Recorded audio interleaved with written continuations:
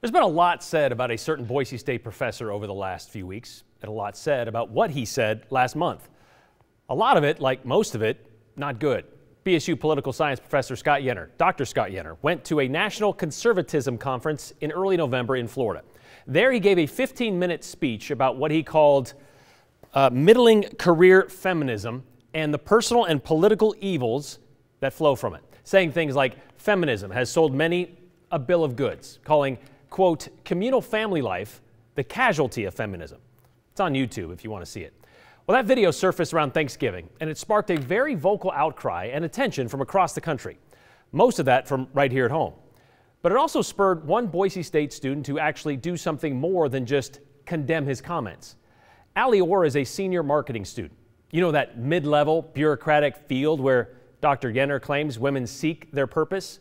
Well, about a week after learning about Dr. Yenor and his beliefs, Ali found her purpose.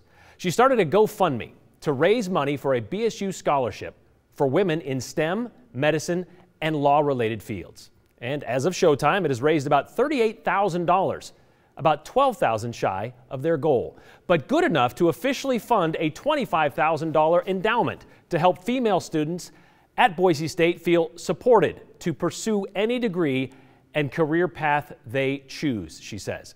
Well, they raised that $25,000 in just three days. And next semester, one student will be awarded that scholarship. This morning, Ali walked us through how she was inspired to make the best of a bad situation. The feminist ethic of careerism and easy sex is a recipe for national disaster. As a student, you always assume that your professors have your best interest in mind and that they're always there having your back. They are more medicated, meddlesome, and quarrelsome than women need to be. And so for a professor to say, I don't believe in your education, yet he teaches women, that feels completely wrong. Every effort must be, must be made not to recruit women into engineering, but rather to recruit and demand more of men who become engineers. How does that not make you feel like you're not welcome? What, yeah, is that what you took from it? Yeah. Like you shouldn't, as a woman, be in this school or be in these fields of study? Yeah, he said recruit more men, not women. What does that say to me? Don't go into those fields because I can't do as much as men can? That's terrible. Meet Scott Yenor. The response on social media and from the community was swift. Dr. Yenor then responded himself. Feminists are outraged about a talk I recently gave, and I've become an object of their hatred on TikTok. And the response there? Just as angry. Ali saw that too. And one of the Twitter replies was, someone should make a scholarship in Scott's name. And I thought, that is such a wonderful idea. And so that night, uh, or that day, I called my parents and I said, I think I'm gonna make a scholarship because how else are we going to say no to this? I mean, I don't have control over him being a professor or him being at Boise State, but I do have control over what I can say no to. And so that night, I made the GoFundMe and I sent out an email to like 80% of the staff, faculty, and professors at Boise State, and the subject line read Scholarship for Medicated, Meddlesome, and Quarrelsome Women. Let me find the email. As a female student at Boise State University, I was deeply disheartened to hear that a professor would discourage women from enrolling in higher education, especially women in STEM, medicine, and law. As a result, I have created a GoFundMe to fund a scholarship for women pursuing STEM, medicine, and law studies. And then I went to bed and I was so scared. and I woke up Friday and suddenly there was like $2,000 in there already. and then by probably about 7 p.m. Friday, we had 10,200. That was crazy. Your parents told you be careful. This is could be controversial. Yeah. Is it controversial? So at the beginning, I was really nervous for any kind of hate I'd receive for doing this. And then I thought, you telling women to not be in school or in these fields of study, how is that controversial? It's just wrong. There's a right side of this, and I'm on it. What do you hope this scholarship does?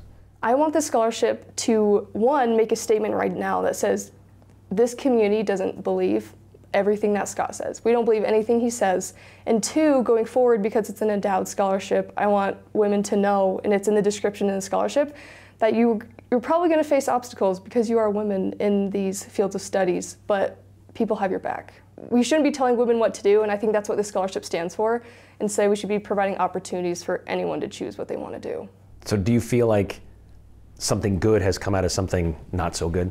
Yes, because I think all this money that went to the scholarship, it would have turned into hate comments or hate voicemails or things that he's already received. And I think it's diminished some of that because we've been able to channel those emotions into something that's actually productive and positive and turn the attention away from him and onto the people he's hurt and actually help them. You said, based on that Twitter response, mm-hmm. you said somebody should start a scholarship in, with his name, but his name isn't on here. His name is not on there. His name will not be on there. He doesn't deserve a legacy. The women of Boise State deserve a legacy. And yes, this is created to combat people like him, but he has no say and he has no mark on this scholarship. I mean, that seems that seems almost more empowering. I think it does. Um, yeah, I. Yeah. So the scholarship doesn't mention Dr. Yenor by name, but you know whose name is on it? Allie's, and she'd rather not have it there because it was only made possible with everyone else's money. But they said they needed a name on it, and she was the one who saw it through. She said that first 10,000 and about 80% of that came from Boise State staff, faculty, and professors that all chipped into that GoFundMe. However, despite sending that original email to Boise State President Dr. Marlene Tromp and the administration, Allie says she's disappointed that she hasn't heard from them. Although we did get a response from the school just this afternoon. In fact, just moments before we started the show, Allie said she understands the complexity of the situation. Yenor is a tenured professor, First Amendment rights, but this is what the school had to say about Allie starting this scholarship. Dr. Tromp supports student scholarships and is grateful for Allie's coordination and promotion of women in STEM through the creation of a newly established scholarship. She is thrilled with the outpouring of support from our community and the financial commitment of our donors who have given to such an important and critical effort. Dr. Tromp went on to say that she immediately asked Matthew Ewing, Vice President for University Advancement, and his team to connect with Allie directly. And that kind of has how all this kind of all went through the process. And it was a I mean, despite how quickly it came together, it was quite a process, Allie says. So, one good thing that came out of this, another good thing I should say, because of the money they've raised, their goal again is to get to 50,000. And if they do, Allie says it will fund two endowment scholarships for women who want to pursue studies in science, technology, math, medicine, and law. And before we forget, we want to know, or we wanted to mention, we did reach out to Dr. Yenor today to ask how we felt about inspiring a scholarship like this. We even stopped by his office during office hours. He wasn't there, and he has yet to respond.